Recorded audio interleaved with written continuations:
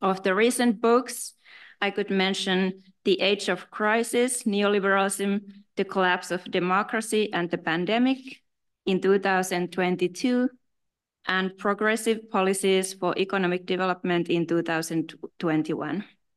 Currently, Professor Saad-Filho also acts as the Vice President of the European Association of Development Institutes, EADI. With these words, uh, warm welcome, Professor Alfredo Saad-Filho.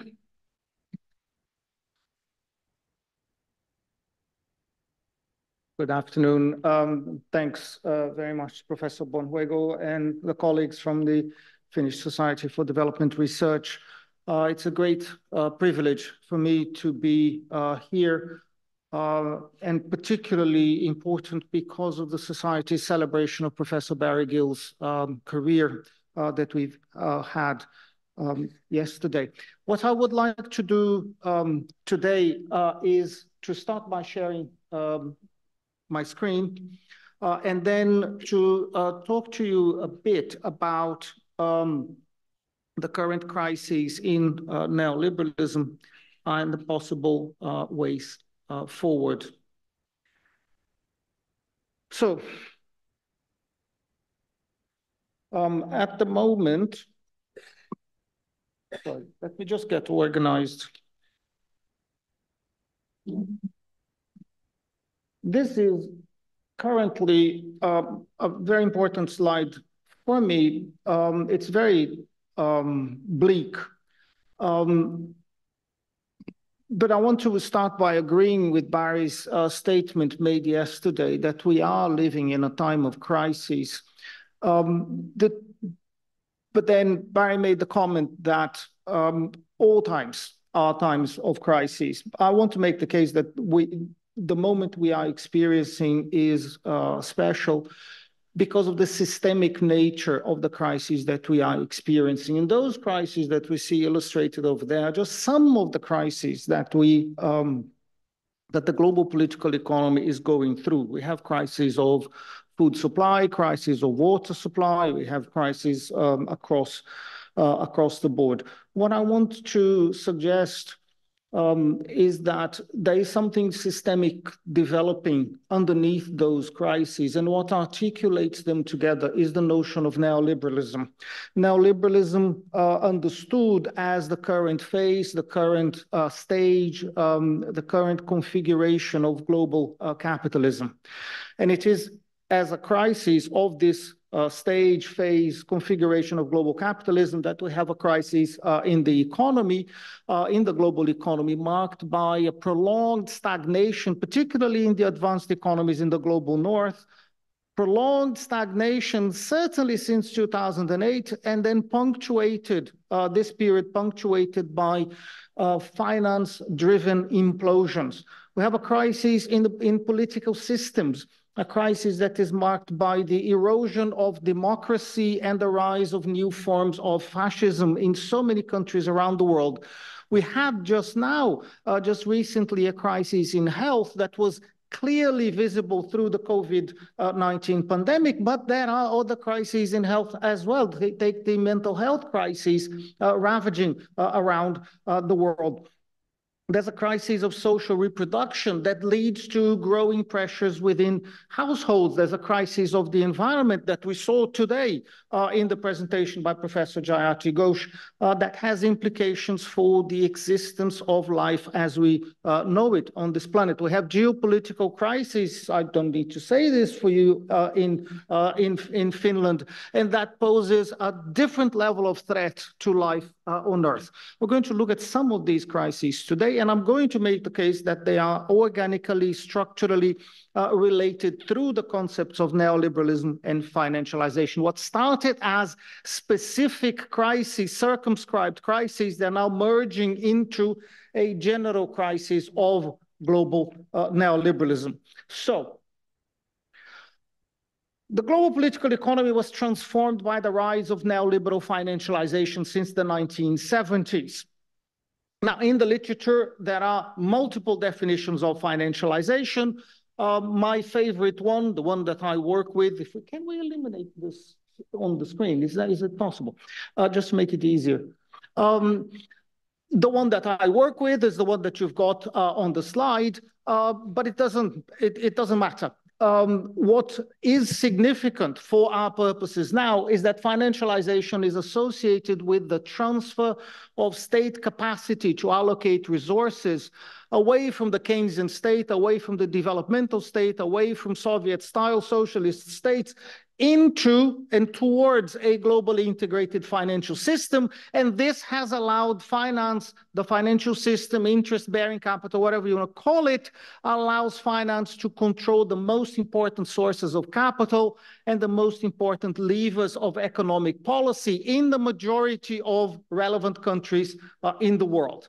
So the spread of financialization, the spread of, um, of neoliberalism, um, have led to an extraordinary recovery of profitability since the lows of the rate of profit uh, in uh, the early 1980s. That's the first uh, graph in my um, in, in the slide uh, over there. And what you can see in this, this is about the United States, but it is uh, representative of the wider capitalist uh, economy around the world. You see a decline in rates of profit since the Second World War, bottoming out in the 1980s, and then there's the transition to neoliberalism and profit rates start rising again. You notice the dip uh, with the global financial crisis in 2008, but profits recover relatively rapidly after that. And the second, um, the second picture and the second graph, uh, that is the share of uh, total profits generated in the economy that is appropriated by the financial system. Relatively stable in the United States, around 10% uh, of total profits being captured by finance. Um, and with neoliberalism, that share starts rising, peaking above 40% of total profits being captured by finance uh, just before the global financial crisis. The sector crashes completely with the crisis and then recovers uh, to a significant extent uh, after, uh, after that. So neoliberalism and financialization have underpinned the recovery of profitability uh, and rising inequality uh, almost everywhere. I will come back to this. Why rising inequality? Finance is the sector of the economy traditionally with the highest average remuneration when finance increases its size within the economy, uh, the consequence almost inevitably is an increase in inequality as well. There are other processes, but this is one that is uh, significant.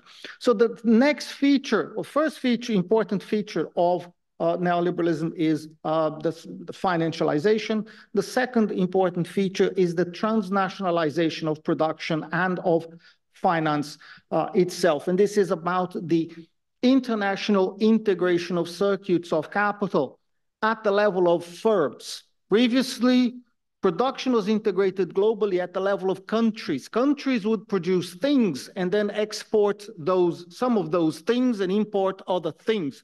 What you have today is a different process of production that is intertwined across borders, across nations, intertwining not just inputs, but consequently labor processes uh, as well. That is the transnationalization that we call globalization. It's this, this is different from what existed uh, before.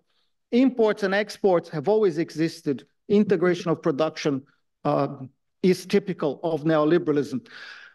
What this has led to, in spite of the promises that were made when uh, in, uh, uh, countries were incentivized to open their borders to global trade and global finance, the, one of the arguments was this is going to lead to global equality, global equalization. If you're a poor country, you're going to grow faster by opening up.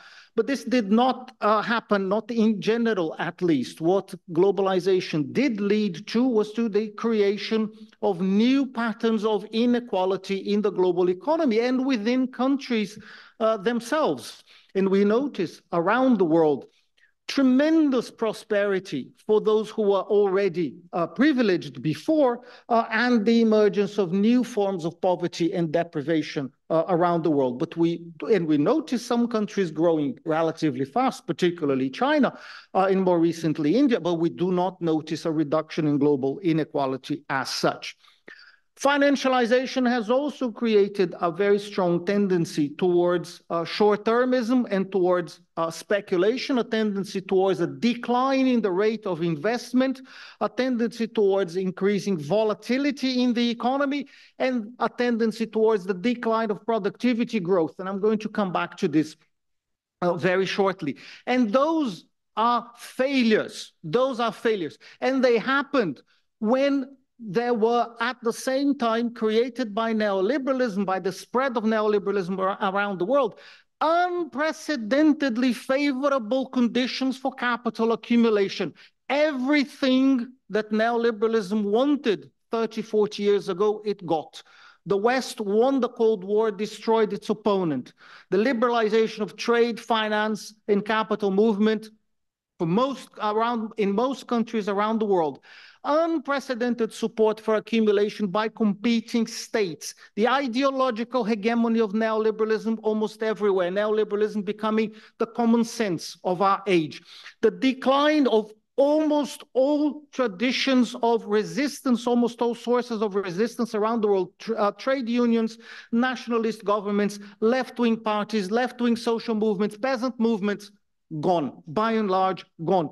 The uh, reduction of progressive taxation, the reduction of transfers, the reduction of welfare provision in many countries, if not most countries, the marketization of public services in the name of efficiency and individual responsibility, shifting then the burden of care from the state towards households and in particular towards women in those households. You give neoliberalism everything it wanted and what's the consequence? A slowdown in accumulation, uh, especially in the core countries.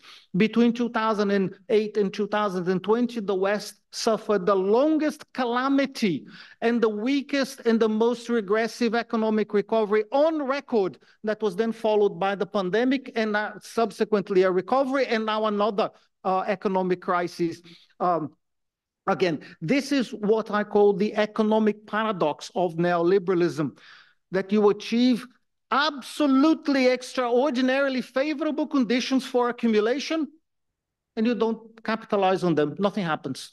You get a prolonged economic stagnation. How is that possible? That's why it's a paradox. So everyone knows that GDP growth rates have been falling um, for decades, particularly in the OECD. So neoliberalism didn't create the problem, but it didn't resolve the problem either. In fact, the problem became worse. And there's no doubt that the neoliberal reforms around the world, they have led to the creation of very strong forces towards speculation and towards inequality and forces against investment, against productivity growth, uh, forces against good jobs, against economic well-being, against democracy, uh, with China as a spectacular exception, but only a partial exception to those uh, trends. And the main problem is that financialization has fed a logic of economic extraction and unproductive accumulation and unequalizing accumulation that has undermined whatever had been achieved by previous systems of accumulation in the global north, in the global south, in what used to be the Soviet bloc, and led to the spread of what I like to call stabilization, speculation, stagnation traps uh, around the world. Gabriel Palma shows that if the United States had its current GDP level, but the same, but the same share of uh, the top 1%, uh, the same income share of the top 1% uh, as it had in 1980, that group of people would earn $2 trillion a year less than they currently do. The two trillion is the shift in distribution of income in the United States. If the distribution of income in the United States has had remained as it was in 1980, the top 1% would now have only half its wealth.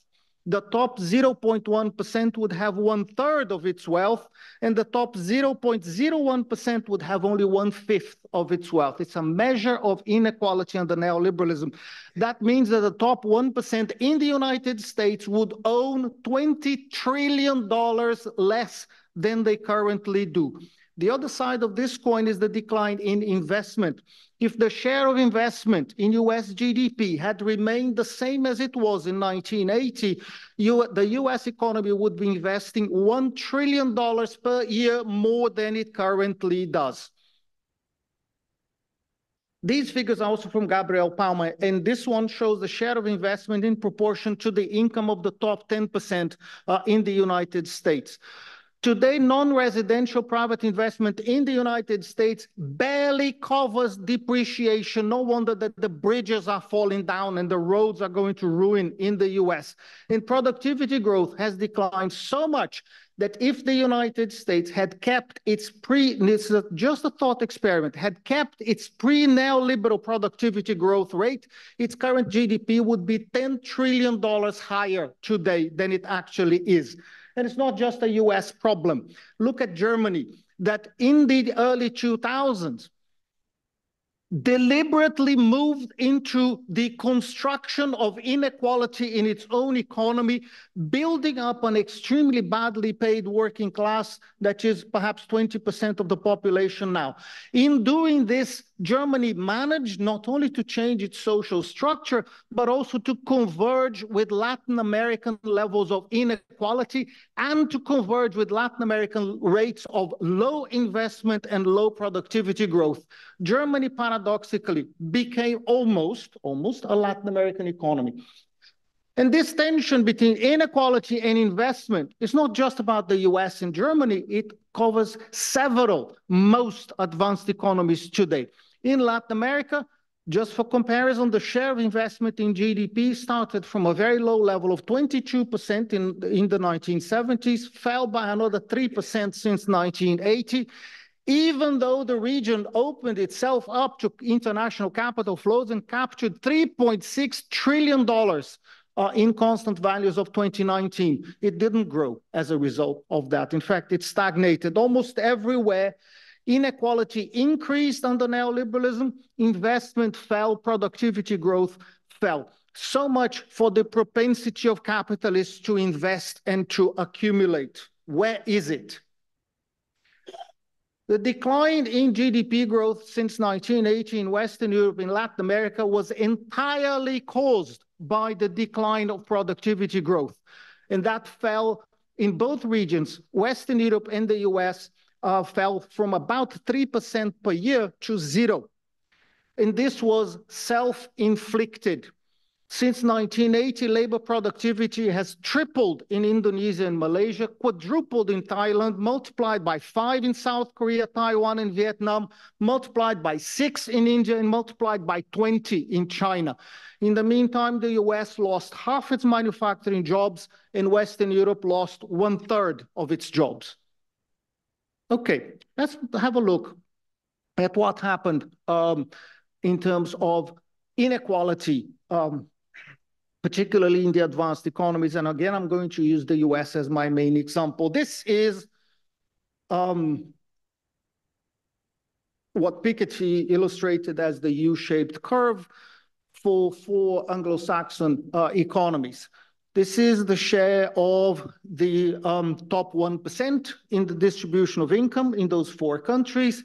And we notice that at the beginning of the 20th century, the top 1% would get maybe perhaps 20% uh, of total income. It went down dramatically in the middle of the 20th century. That's the, that's the welfare state. Uh, that's progressive taxation. That is redistribution. And then under neoliberalism, we return to uh, an economy that we had seen last time at the beginning of the 20th century, an economy with a much higher level of concentration uh, of income. Exactly the picture for the United States. Um, this is the share of the top 1% uh, with uh, or without, under, and with uh, above uh, capital gains. of course, the rich concentrate most financial assets, they get most of the capital gains. The counterpart to the deterioration of, this, of the distribution of income in the United States is the decline in the wage share of national income. That has declined by at least five percentage points in an economy the size of the United States that is several trillion dollars. Remember the trillions of dollars that are now captured by the top 1%, they are coming from somewhere. And if we look at if I can find my, yes, thank you. Productivity growth in the US economy is relatively constant. It's about 2.5 uh, to 2.7, uh, 2.5 to 2.75% per annum every year since the since the Second World War, since since we've got data. So this is basically a straight line. The purple line is basically straight.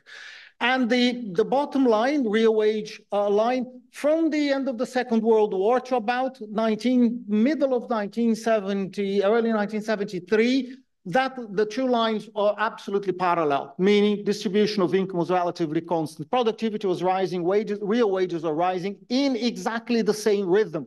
So the distribution of income in the US was constant. Come 1972, 73, the line has an inflection. Real wages stop growing in the United States. They recovered more recently, started rising more recently, but this gap here remains absolutely huge. Now, if real wages are relatively constant, how is it that household income has been rising a bit, but has been rising a bit? Why? Because households have been working longer hours. This is retired people going back to the job market. This is students going into the job market when they wouldn't have to go before. This is uh, housewives leaving the, the house and, and, and taking a job, etc. More hours of work by the household. But the point is, if real wages per hour are constant and productivity is rising, who's getting this difference here? Who's getting the additional product? Remember the trillions of dollars that we were talking about uh, before. Now, you can cut this in different ways. If you cut the salaries uh, and look at the distribution of salaries within the US economy, you notice that the lower your income level is, the more stagnant your wage tends to be. It can be growing in a negative direction. But if you go towards the highest salaries in the economy, the top 10%, for example, the red line, then those salaries have been rising quite comfortably. This is again a picture of inequality. So you have inequality between capital and labor, you have inequality within labor uh, as well uh, in the US uh, economy. You can continue to cut this. You can look at uh, years of schooling, and the less years of schooling uh, you've got, the lower your salary tends to go. The more years of schooling you have, the more your salary tends to rise. If you think that years of schooling are, are related to uh, family wealth, because rich people can normally afford to stay in education for longer, then you have a perpetuation of inequality and the construction of even more inequality within the labor force. If you look at the racial uh, implications of this within the US economy, that's a picture of continuing, if not growing, inequality as well uh, within uh, the US um, the US economy. And on top of this, you have a tendency, particularly under neoliberalism, for tax rates for the rich to decline and for the tax system to become less and less progressive and to become, at times, especially regressive. So tax rates for the rich started coming down in the 1970s, 1980s. The final step here is the Trump uh, tax uh, um, reductions. It was the first thing that Donald Trump did when he uh, was elected president, making it such that the top, the 400 richest Americans pay less tax as a proportion of income than the bottom half of the United States. That's the end of progressive taxation uh, in that uh, economy. And if you remember, uh, the first picture we saw how this the distribution of income improved during the welfare state, that is a testament for the effectiveness of tax policy to equalize incomes in society. It's exactly the opposite of this engine of inequality that we have uh, here. And the consequence is that the top uh, of society, the top 1%, the top 10%, the top 0.1%, the top 0.01% accumulates more and more wealth, while the bottom of society, in this case, the bottom 50% uh, doesn't accumulate anything. Again, a picture of growing inequality in, in the US economy. How do we make sense of this and what are the consequences? This, these changes in uh, the distribution of income and then the, consequently the distribution of wealth had implications for the distribution of power uh, as well in that economy. But this is connected via the restructuring of the economy uh, in the US and in other parts of the world under neoliberalism. a dramatic economic restructuring associated in particular with global, global trade, uh, the, the globalization of trade and deindustrialization that created an array of citizens that I call for simplicity economic losers, the people who lost out economically under neoliberalism. And this is relatively easy to consider when you think of the United States, but also the UK and a number of other uh, uh, European countries that have deindustrialized significantly in the past uh, decades. Millions of skilled jobs have been eliminated, especially in the advanced economies under neoliberalism. Whole professions disappeared because of technology or were exported. Employment opportunities in the public sectors always also dried up because of privatizations and because of the retrenching of government itself. Job stability declined almost everywhere pay has tended to be eroded as we saw. Pay, um, conditions of work and, and, and welfare provision have tended to deteriorate. At the same time as neoliberalism pushes to everyone the notion that your worth as a human being, as a member of society, is entirely dependent on your income and on your consumption pattern at the same time as it does not provide the conditions for you to satisfy those sometimes le perfectly legitimate wants. I want a house. I want means of transportation. I want, I want to dress decently. I want to have basic things in life, or the other things that are uh, put uh, to you as markers of a good life, things that you must consume in order to be considered by others as a worthy uh, citizen, a worthy member of society. There are legitimate material aspirations and there are induced aspirations, difficult to define in practice, but we see the, the conceptual distinction. But even more severe than this, even more urgent perhaps, is the realization that now, now, for the first time, in the history of capitalism. For the first time in 400 years of capitalism, the young generation will not achieve the same uh, economic prosperity as their parents had. For the first time in the history of capitalism, you can no longer say, as a parent, I sacrificed myself. I'm humiliated at my work. I was fired, but I'll continue to, to try hard to find another job. I will have two jobs. I will have three jobs. I will provide for my children so that they can do better than I am doing. You can't say that anymore because your children, statistically in general, will not do as well as you did. It's the first time. This undermines the legitimacy, not just of neoliberalism, it undermines the legitimacy of capitalism itself because the ideology of constant improvement across generations is very important to validate the mode of production. And it has been important since the 18th century, uh, at least. Now, if you look at the picture of neoliberalism in other parts of the world, it's exactly the same. Chile is particularly dramatic. Chile was the first country uh, to turn to a, a a form of governance, economic policy, mode of existence of capitalism uh, that we would recognize ex post as being neoliberal with the uh, Pinochet coup in 1973. This um, figure covers approximately the period uh, in which General Pinochet was uh, the main political leader in Chile. The, is exactly the same as we saw in the case of the United States. Accumulation, if your income is in the top 10%, it's increased by 50% in the period between 73 and 87. The poorer you are, the more uh, you lost. A picture of inequality. What were the processes generating those distributional outcomes? That is a question for us as social scientists, a question that I'm not going to answer now uh, in a direct way. Uh, what I want to do now is to look at neoliberalism historically.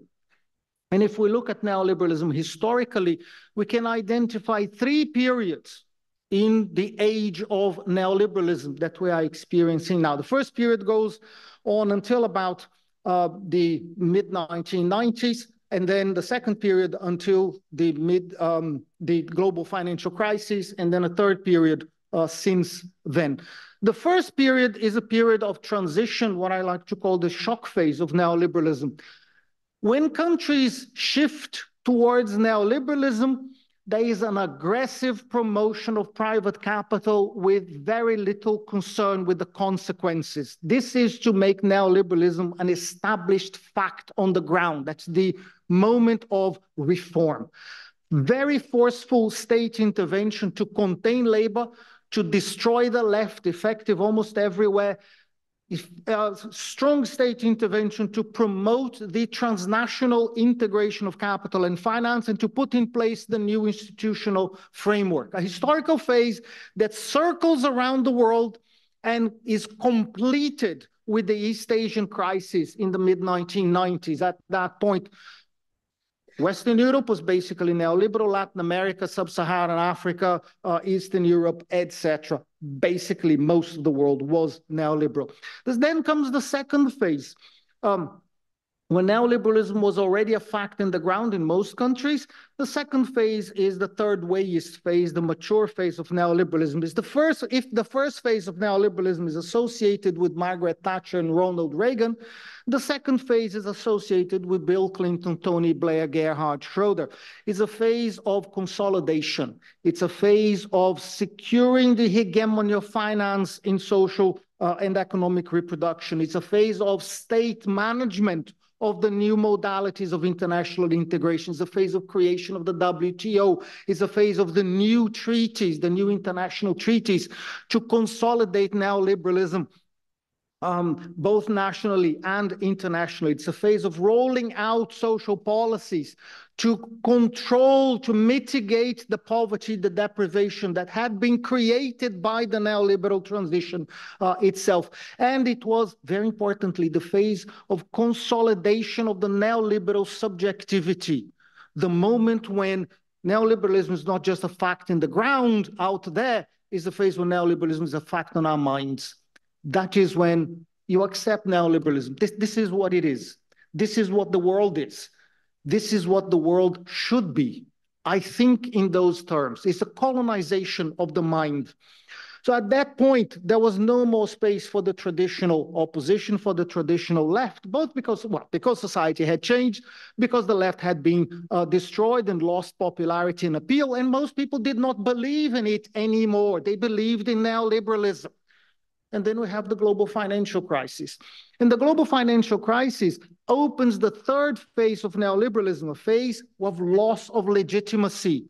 So, oi, I give you everything you want. And what do you deliver? The worst crisis since 1929? I give you everything that you've ever wanted. As neoliberalism, you conquer everything you, you ever wanted. And then what? You have you create poverty and then as a consequence of that poverty, you have economic instability and low growth. And then you spend trillions of dollars salvaging the banks, the banks, not building houses, not building hospitals, not promoting social welfare, but salvaging the rich from what they created because they had all the power to drive economic policy. What is that's loss of legitimacy?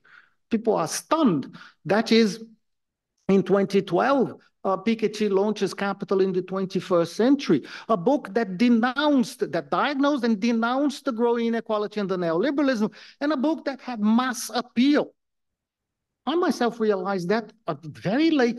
The book is thick, the book is difficult, it's a book for economists, it's hard to read, and the book was being sold in airports.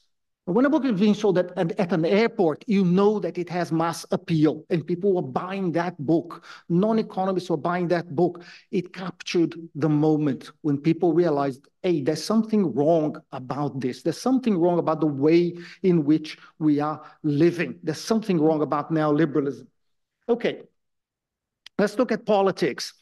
Now, history shows a whole range of paths of transition to neoliberalism. They can be authoritarian, Pinochet in Chile, uh, Videla in Argentina, um, the generals uh, in Turkey. They can be authoritarian but democratic in form, Margaret Thatcher, uh, Ronald Reagan, or neoliberalism can come together with transitions to democracy, Brazil, South Africa, South Korea, across uh, Eastern Europe.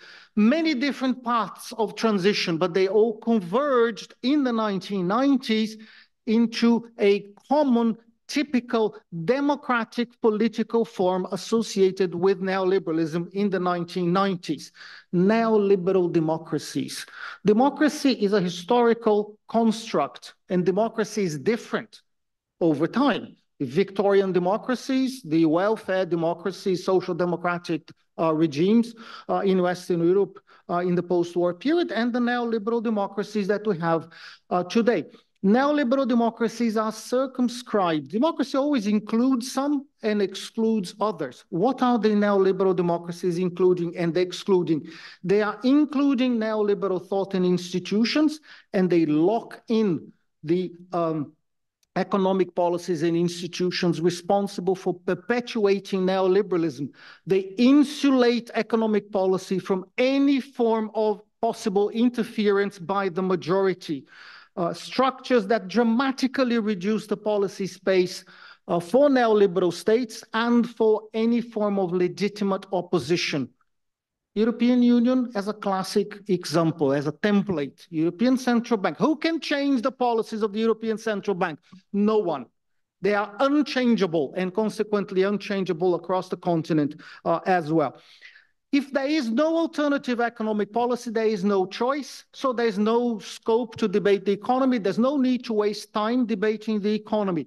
If you evacuate the economic, very important area of social reproduction, if you evacuate the economic from the political debate, what is it that is going to fill the space?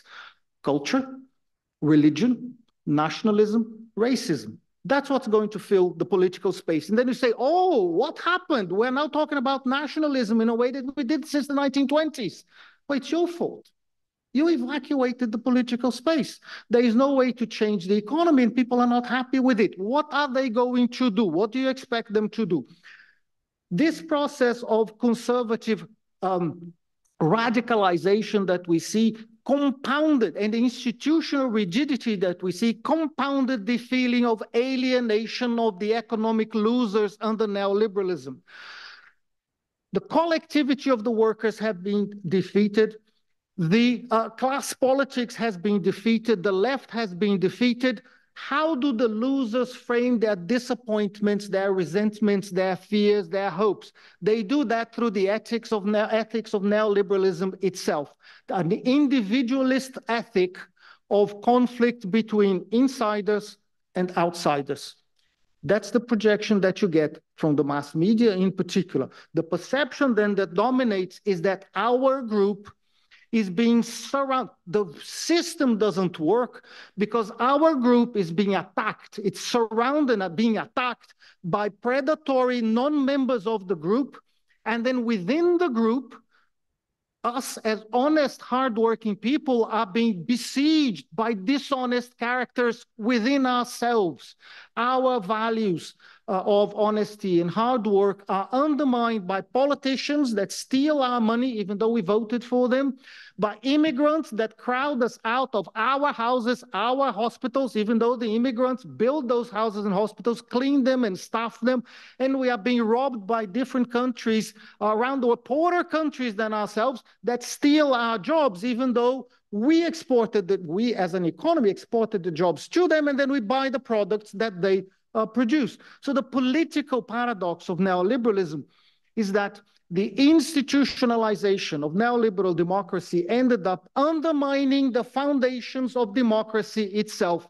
The structures of political representation became unresponsive, public policy became increasingly indifferent to the majority. I don't care what you feel. You can't change anything, so whatever. I don't, I don't care. The state signaled that collectivities based on class would not be recognized anymore and that cash poor individuals were either failures or they were crooks and they had to be contained. Now, with the destruction of the left in the previous period, those tensions led to uh, a response that was driven by anti-systemic forces that are polarized by what I like to call spectacular authoritarian leaders. Spectacular because they perform in the arena of the spectacle of the mass media and social media.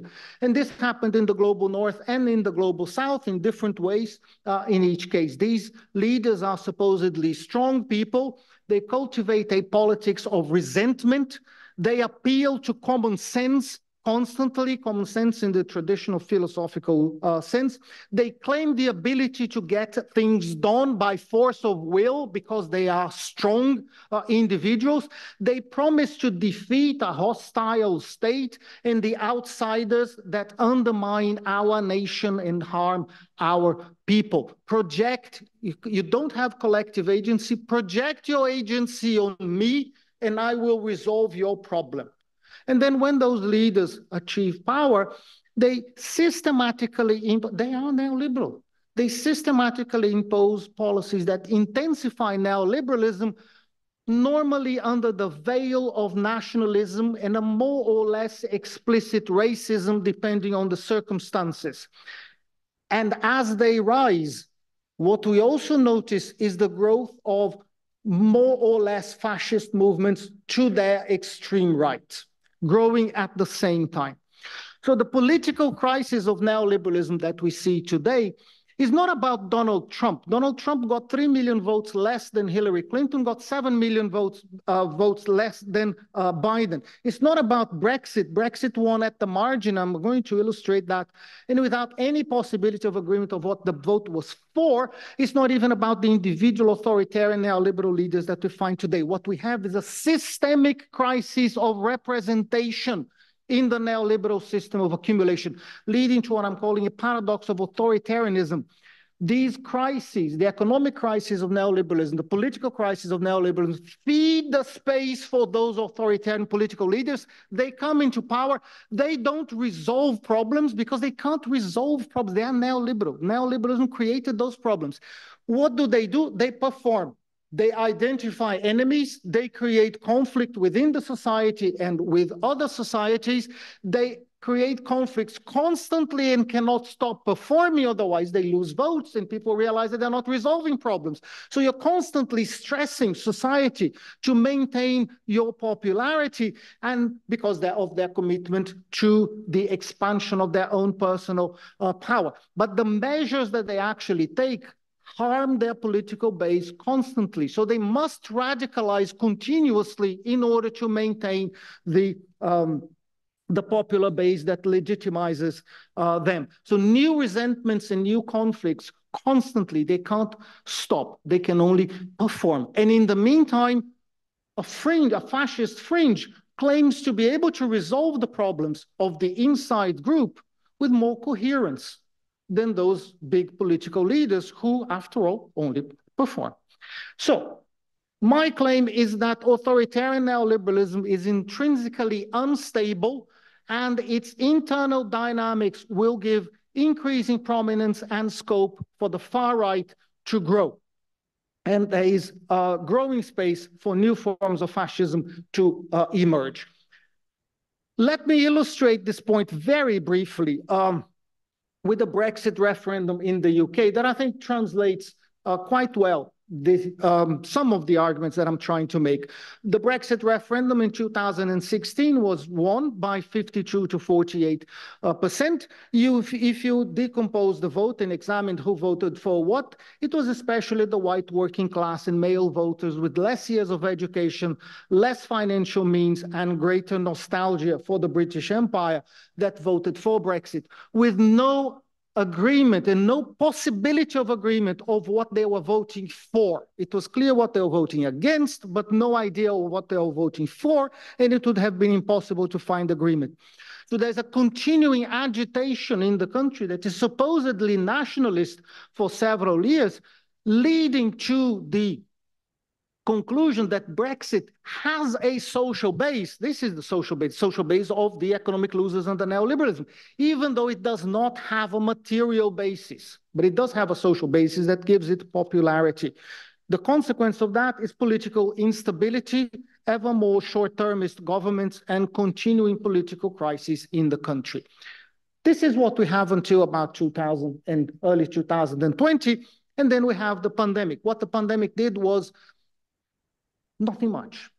The pandemic uh, did not change anything fundamentally. It intensified those tensions. The economy was doing badly, it collapsed entirely. Political systems were drifting towards authoritarianism, and in the pandemic, the more authoritarian um, governments tended often to become spectacularly perverse imposing health policies that killed millions of people and that entrenched COVID-19 so it can never again, never be eliminated. It could have been eliminated back in 2020. It was not because of a sequence of political uh, decisions that were made in the United States, in the UK, in India, in Brazil, in other countries uh, that took the lead in addressing the policy in strictly neoliberal terms. We can talk about oh, the pandemic in strictly neoliberal terms. We can talk about that. Hold that. Let me look at this from another angle. We have known since Marx that the working class has been separated not just from the means of production, but also from the means of life. It starts with land, but it includes housing, transport, food, healthcare, everything you have access, but access is conditional and it is mediated by paid employment, access to anything that makes life comfortable or even possible. So in capitalism in general and in neoliberalism, neoliberalism specifically, most people have a fundamental interest in securing the means of life to live lives with less stress, less anxiety, less unfreedom. 66% of the US population worries about accessing basic health care. 31% was struggling to pay their energy bills even before the most recent energy price spike.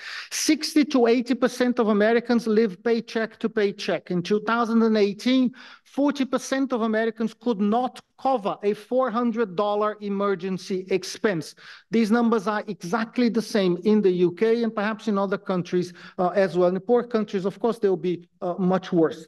Now, Nancy Fraser, Tithi Bhattacharya, and Cinzia Arruzza have stressed for us what need not be stressed, but it's good to remember the white, the, the, the global working class is not just about white men working in factories. The majority of the workers works in fields, works in private homes, works in offices, in hotels, in bars, in restaurants, in delivery services, hospitals, uh, schools, particularly at the precarious end of the working class. The, working, the global working class is disproportionately female, migrant, and racialized, and there, in those experiences, that is where the global north actually meets the global south. And this is particularly acute under neoliberalism because low-paid, precarious service work has tended to replace secure, unionized industrial labor in most countries, particularly in the advanced economies, and we know that wages have tended to stagnate almost everywhere. Now, the consequence uh, in the North and in the South is that workers, workers have tended and working class households have tended to take on uh, multiple jobs and borrow to survive, while at the same time, because of the retreat of the welfare state, they have to take more and more responsibilities at home, generating a crisis of care that particularly exhausts uh, women, that damages families, that strains people's capacities. No wonder we have a mental health crisis today, but that will be another story that we can't discuss now, and these are frustrations that have helped to feed right-wing movements that identify real problems in neoliberalism, but then twist the grievances to blame poorer countries, to blame the weakest and the least protected members of society, and then deflect blame away from capital and from profit. Let me comment uh, on the next crisis today, the crisis of the environment. And we saw uh, uh, Jayati Ghosh's outstanding presentation uh, this morning. Uh, we have known for several decades, at least since the Second World War, that the consumption of fossil fuels, you can go back to the 19th century, but these are mostly marginal people. From the Second World War uh, up to now, it's absolutely established science. We know that the consumption of fossil fuels generates greenhouse gases that can raise global uh, temperatures. And this has been examined in a whole number of um, materials, including and especially IPCC uh, reports. We are now at 1.5 degrees. Um, for a whole year consecutively. Uh, for the first time, the projections are that global temperatures will rise by four to seven degrees um, in the next 100 years. And global warming is already having a whole range of uh, consequences, consequences that affect um, poor people and poor countries in particular, because poor people and poor countries are more vulnerable to any form of economic uh, disturbance. The argument that I want to make is that the challenge of leaving fossil fuels in the ground, which we have to, the challenges of diversifying energy supplies, of securing macroeconomic stability and sustainability, the challenges of improving the distribution of income, wealth, and power, they have to be addressed simultaneously, not in sequence, simultaneously for reasons of legitimacy, of practicality, and of effectiveness. The point is that those transitions, the energy transition in particular, will have costs. And the only way to bring public support is to couple the energy transition with the reversal of the excluding logic of neoliberalism.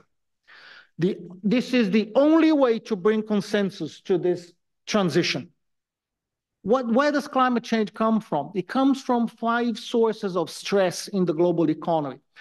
First is the contradiction between the fact that the Earth is finite and has a limited capacity to sustain a stable climate, in contradiction with the infinite search for profits under neoliberalism and the tendency of capitalism to plunder nature for energy and raw materials and to use the earth as a sink for production and consumption waste.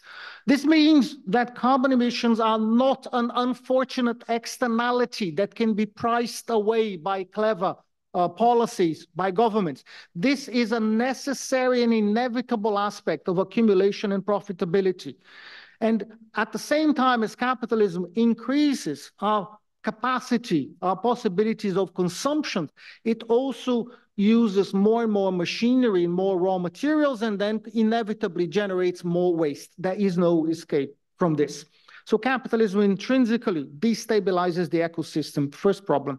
Second problem is the tension between the awareness of the environmental uh, limits to growth, which, which we have as a society, we have had for decades, and the inability of governments and intergovernmental organizations to do anything about it despite all the talk, all the flying around, all the uh, COP meetings, all the governmental negotiations, CO2 emissions rose from 20,000 megatons in 1990 to 37,000 megatons last year. They are still rising.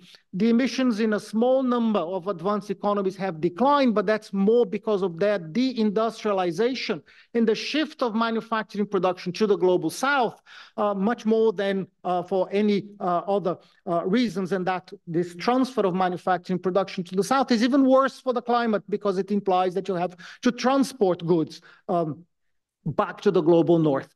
But even if the CO2 uh, emissions uh, reductions in the best performing countries, Cuba, Denmark, Spain, Sweden, etc., could be replicated, the world would still not achieve even the two degree upper limit agreed in Paris. Third problem, the tension between, which Jayati explored this morning, the tension between the accumulated emission by the advanced Western economies and the rising emissions in developing countries saying, you developed on the basis of pollution. What do you want us to do? We're going to grow as well. You're not going to stop us. And that is a perfectly legitimate argument. What are you going to say in response to that? Fourth problem, the structure of the global economy, where several countries are heavily invested in the production of fossil fuels, even though the extraction of those fuels uh, and their processing are completely unsustainable. What are you going to do with your capital stock? And that's a major problem for a number of poor economies. And all those tensions have been intensified by financialization. Financialization tends to raise emissions even though the financial institutions know everything about climate change, they know everything about the need to strand productive assets in oil, uh, in oil fields and gas fields and coal mines. They know everything about that. They're still funding more oil extraction facilities, more refineries, and more coal mines because financial institutions operate in the short term. Your bonus at the end of the year and your job depend on deals that you have to sign. And these are the realistic deals on the table. So you sign those deals and the financial institutions continue to fund the destruction of the atmosphere.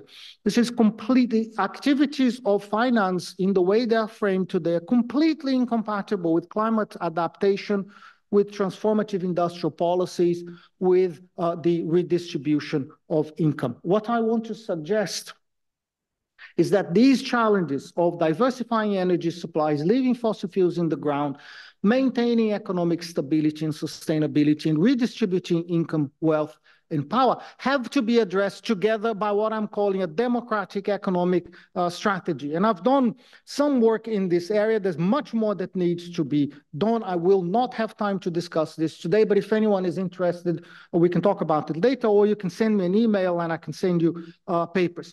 And the idea is to develop a set of economic policies that responds to five uh, imperatives in five areas of debate. First is recognition that mass poverty and climate change are both urgent problems and they both have to be addressed by pu public policy, whatever the cost and whatever the profitability. Second principle is that democratic development uh, must benefit the poor more than the rich. Growth is democratic only when it reduces both absolute poverty and relative poverty at the same time. Third principle is that a democratic economic strategy must protect the environment and the living conditions of the majority of the population. We have to release investment and production from the straitjacket of profitability and competition. Investment and production have to be socially coordinated to focus on immediate decarbonization regardless of cost or profit. This is about life or death for, if not for our generation, for our children's generation. The fourth goal uh, is, or the fourth uh, uh, principle is that a democratic uh, strategy has to be pursued directly and its outcomes have to be measured directly. They cannot be indirect or conditional on trickle down, conditional on profit seeking, or conditional on the interests of finance. No mediations. The outcome is what you want the outcome to be. And fifth uh, principle is that a democratic economic strategy has to be inserted within a democratic political process.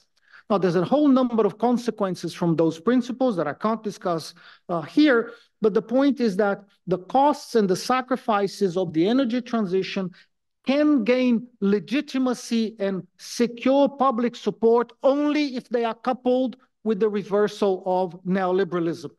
And only the state can implement this alternative economic strategy because it will be necessary to exercise coercive authority against those people who wish to maintain the status quo. Only the state can deliver the energy transition in a coordinated way. Only the state can euthanize the rentiers, as Keynes nicely put it, only the state can decommodify social reproduction, definancialize the economy, dismantle the fossil fuel industry, the most powerful lobby in the world. Only the state can fund a new energy system. Only the state can lead the retrofitting of our mode of living. No state will do this without massive pressure from below. The challenge that we have as a generation and as social scientists is to uh, articulate those movements and to convince masses of people in the global north and in the global south that they have an immediate material interest in restructuring production to make a livable future possible. And this needs to come with the promise of more security and a more worthwhile life for the poor people, insecure people uh, uh, in the world as part of the strategy of change. We as academics, we have an absolutely key role in the process because through our work, through our interests, through our contacts, through our expertise and our experience, we straddle north and south, and we can help to cross-fertilize experiences in ways that are quite uh, unique. Let me close.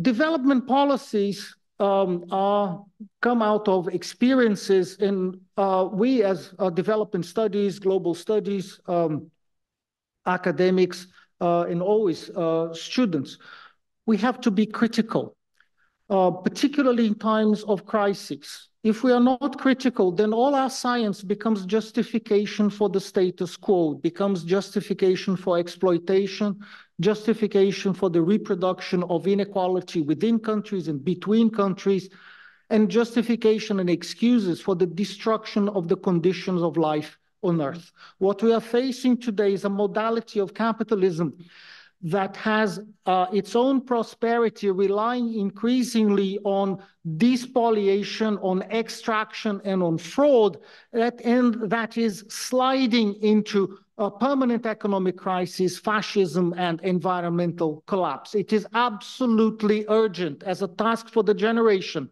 to advance a transformative uh, agenda. A transformative agenda uh, drawing upon uh, the notions of democracy, in the political domain, an expansion of democracy in the political domain, the restoration of a collective sphere of citizenship, the expansion of rights, the distribution of income, of wealth, and of power, and focusing on the decommodification and definancialization of social reproduction. I suggest starting with universal public services and at the same time a green transition in the economy.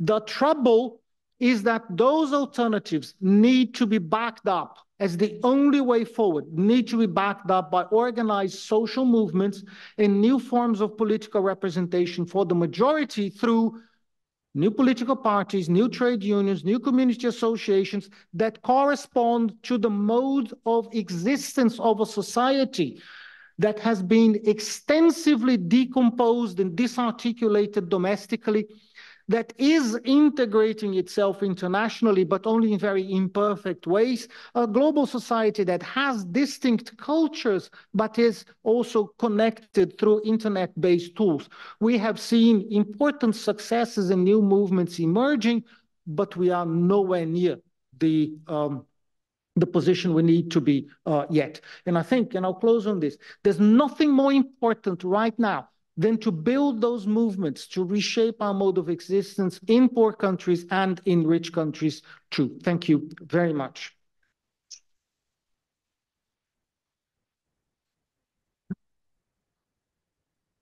Thank you so much, Professor Saad-Filho. Very powerful, very topical.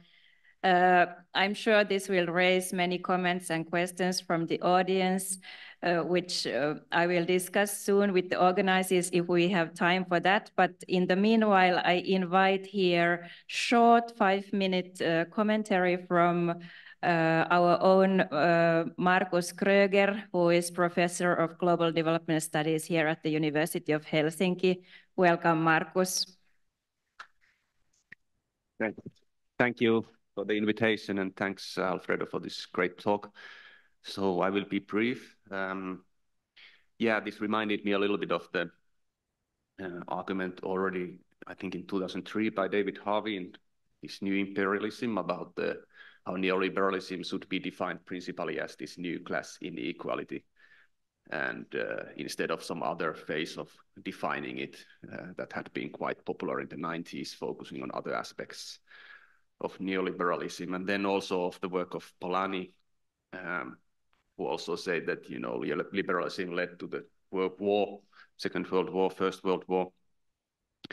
And there seem to, seem to be same kind of arguments in your presentation, the rise of a new right-wing uh, nationalist tendencies due to this inequality and the great argument about the evacuation of the of the political space, uh, you know, of the economic arguments, and then that's the space being filled with the nationalist arguments and so on. But then maybe the major issue I had to be just to be provocative. So if you consider that there wouldn't have been this rise of neoliberalism since 1980s, what would have happened? Like, where would we be now in terms of the climate crisis, for example? What do you think?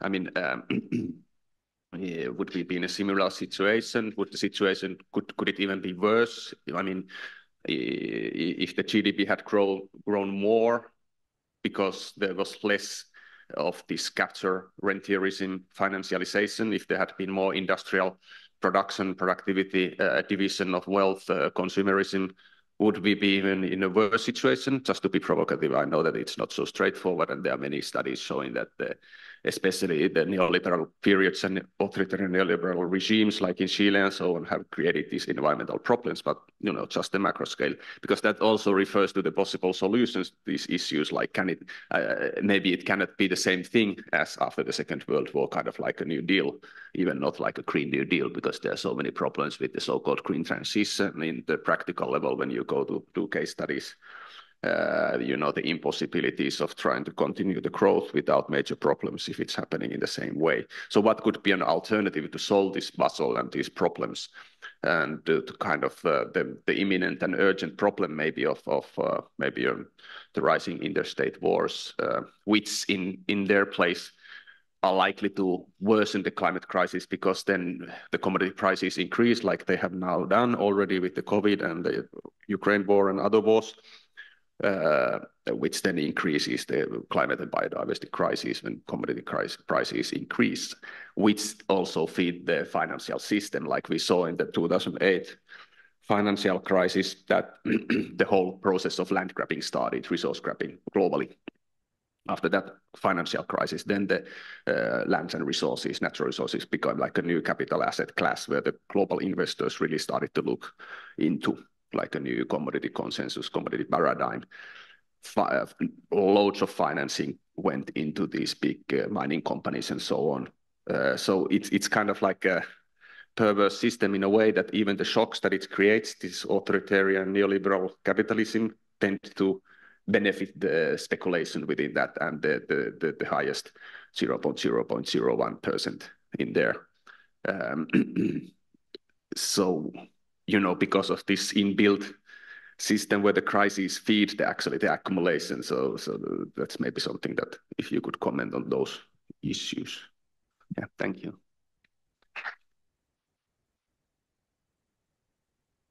Thank you, Markus. And uh, while Alfredo would come here and prepare to respond to Markus, let's also take three to four other questions and you can then answer all of them at the same time. Let's start with Barry. Who else wants to go? Usman, Taru, and fourth one, then Bon. Yeah. Ready? Thank you, Alfredo. I think that was the best, most brilliant magisterial overview of this I've ever heard. Now then, but you never use the word oligarchy or oligarchization for the inexorable hyper-concentration of capital nationally and globally that has occurred through the neoliberal economic globalization phases that you so aptly described. And, I, and then their relationship to state capture by the oligarchic class who have transnationalized their capital, as you said, that's what it is their overwhelming social power of the empire of capital that they've built, and they control the states. That is actually historically a recapitulation of what happened in the denouement of democracy in the polities of the ancient Greco-Roman world.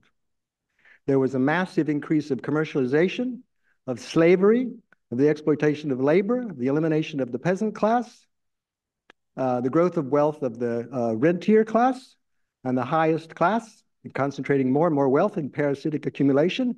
They captured the magistrates, magistries, re rewrote the constitutions, kept them only formal in form for a while, and then destroyed them all in the imperium of Rome. And it's repeating itself again, isn't it? The, the end point of neoliberalism is authoritarianism. Discuss.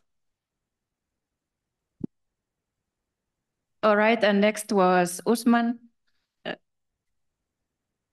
Yeah, so uh, Professor Saad, my question regarding like uh, the outline that you draw on the democratic economic strategy and your em emphasis on state or the role of state in there.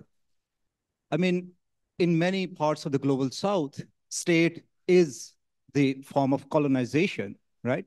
State in, has those processes and those uh, kind of structures inbuilt in it. And kind of, you know, the debate between Bakunin and Marx on the role, like what possibly could come out of even the if the state is, you know, uh, constituent of uh, labor, even then it can become Stalinism, right? So the state has these kind of problematic things. So how do you see, like, you know, state becoming more uh, kind of, I don't know, like progressive in those terms? Thank you. Excellent. And then Taru, please.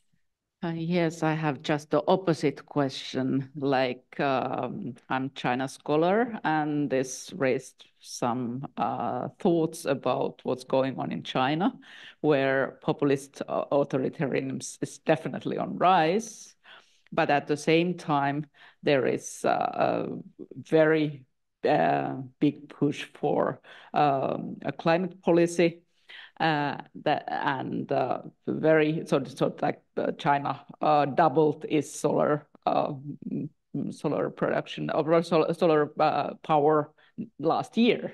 So in one year only, and it was not low before.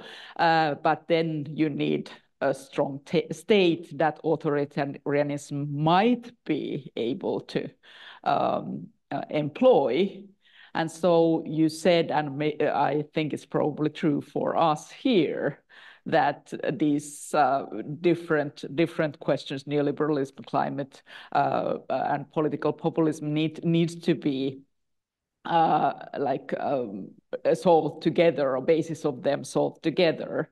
But could there be alternatives where you can uh, actually solve uh, solve not all of them, but some? And then the last last question from the association's president, Bon, please. Yeah, thanks. As always, thought-provoking, uh, Alfredo, and somehow inspiring. Uh, my question is, how do you communicate with the youth and students? Because, uh, you know, I just attended the, uh, the Occupy Movement's uh, working group. Um, I say this because I was like them when I was a student, when I was younger. But at the same time, I'm thinking about how Barry closed his keynote. Yeah, pessimism of the intellect, optimism of the will.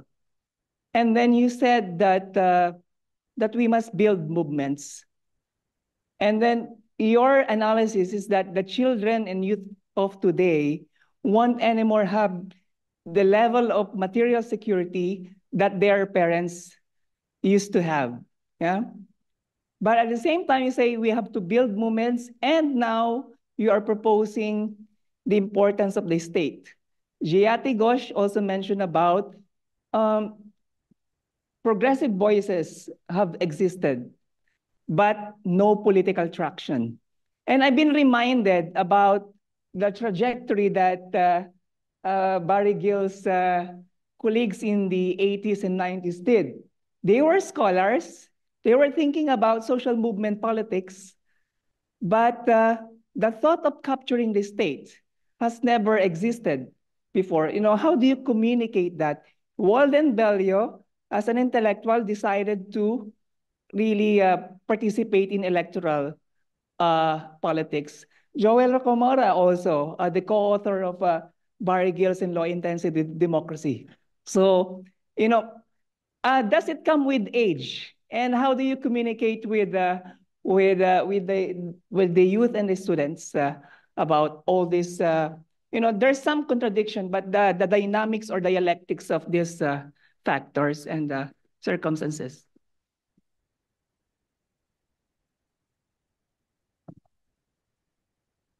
Uh, thank you. Thank you very much. Uh, these are extremely difficult questions. I will try to uh, answer what I can um, very rapidly, uh, but probably not um, probably not everything. What would have happened if um, there haven't been uh, neoliberalism. Uh, there's a there's a, a, hypothetical question with a number of hypotheticals underpinning it. Um, productivity growth was declining under the Keynesian uh, period. Inflation was rising, unemployment was rising. Some kind of resolution would have to come out. Imagine it had been possible a resolution towards uh, towards the left. No, I'm not talking about uh, communist revolutions or anything like that, but some form of Keynesian social democracy a bit more radical than what actually happened. Think uh, Meidner plan in Sweden or think uh, other um, left-wing options at that time. I would imagine that in this entirely hypothetical experiment here, there would have been a greater awareness uh, of uh, climate change sooner because voices uh, wise voices within the scientific community would not have been stifled, and there would have been social debate about the possibility of alternatives. And then we would uh, have states with the planning capacity and the implementation capacity and the resourcing capacity to push forward uh, a green transition much earlier, decades uh, earlier. Uh, it is possible to achieve success. We've achieved success with CFCs, for example, very, very rapidly. It was an emergency. It was perceived to be a limited problem. It was boom. It was uh, it was uh, resolved. Uh, the green transition is a completely different thing. The uh, Green New Deal, is it is it viable in the way that it is planned? It's not because it's not in the case of the U of U.S. policy under under Biden. It's not because it's not a, a Green Deal. It's an industrial policy uh, deal or project in order to compete with China. So it's not a serious take on uh, climate change. It is a, a serious take on uh, on China. Um, wars and crises, yes, wars uh, consume huge amounts of uh, energy. The military are one of the greatest emitters uh, of CO2 uh, in the world. Wars create price shocks uh, and they stress the financial system and open space for speculation. This is a disaster, but it is also more likely to become uh, present and part of our reality because of the stresses of the environment and the stresses of neoliberalism itself and the economic failures that we see around the world. So these are extremely dangerous and treacherous times. And we notice the stresses in political systems uh, as well. And I think we can all recognize that the uh, that U.S. policies, in particular, have become increasingly edgy and aggressive uh, around the world. So extremely dangerous uh, moment, uh, not to speak of other uh, powers uh, as well. Um, oligarchy, hyper-concentration of capital, Barry's point, absolutely uh, agree with it. State capture, yes. You think of Elon Musk, you think of, uh, what's his name, the owner of Amazon, two guys competing with big rockets to fly, Jeff Bezos. absolutely ridiculous um, posturing and on your question, yes, I think the endpoint of neoliberalism is authoritarianism. I think, again, politically, this is an extremely uh, difficult uh, moment, but recognition of those patterns. What is neoliberalism? It's a thing that exists. What is it that it has done to democracy? What is it that it has done to alternatives? We need to recognize those patterns in order to be able to say, hey, we need to articulate something different. And it's not something um, that will come out of academic debates. We can't go to a conference and come out with a recipe. We can't uh, design, because we are so clever in universities, we're going to design a new political party that is going to represent, et cetera, et cetera. We, no, this is not our role, and it can't be done anyway. Our role as citizens is to join the movements we identify with and try to do something helpful, useful, and productive. Our role as social scientists is to cross-fertilize experiences, is to say, I did this work here, I read those things, I thought these thoughts, I can uh, make systematic assessments of certain experiences and bring them to your to your classes, to your lectures, to your movements, to your activities, and talk to people. And talk to people. And this is how we're going to, this is the only way to change the world. It's by convincing people and getting people interested in the problem and feeling empowered. But before empowerment has to come understanding, some form of understanding of the reality we are in, and the understanding that if you don't do something, the consequences will be absolutely dire. So uh, we do need to uh, mobilize and find ways of organization. Those ways of organization, this is an empirical problem.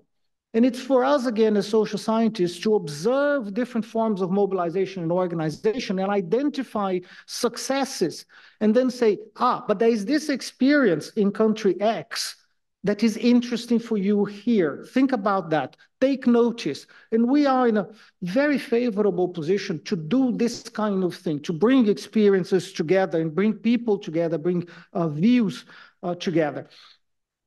how to make states more democratic, more progressive. Yes, in most of the global south, states were set up by the colonial powers, or they were set up in order to exploit their own populations for different, uh, in different ways and for different reasons.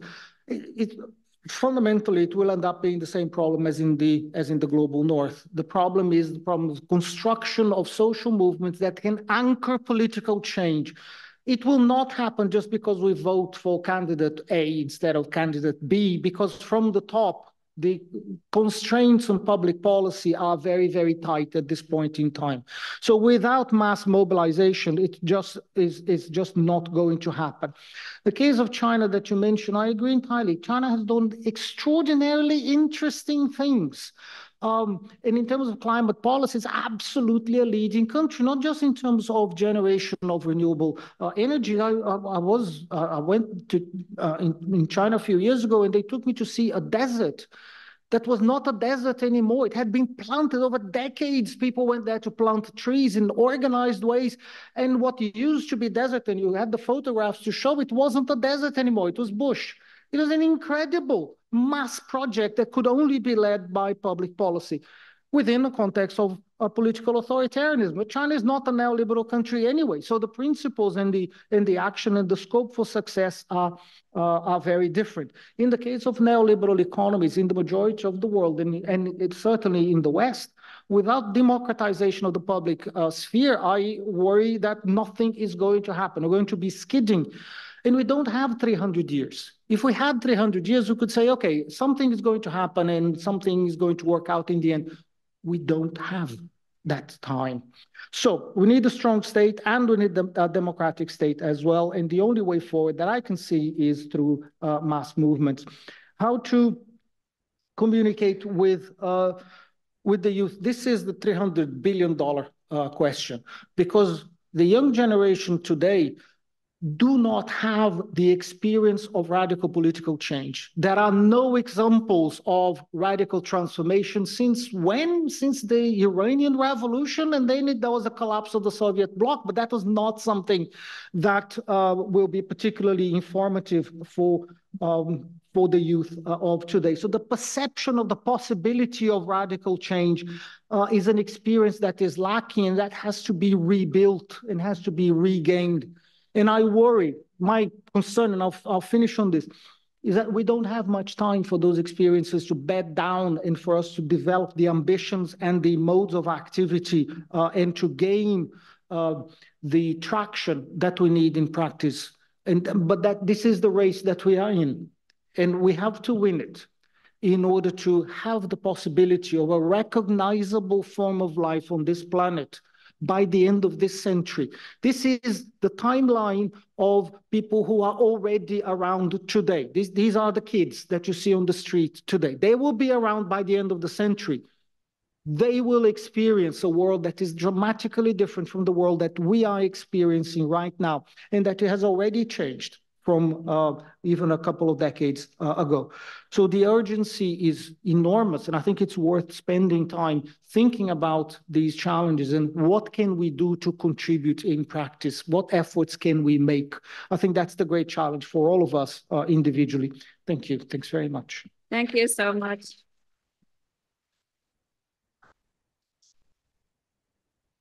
Thank you so much. Uh...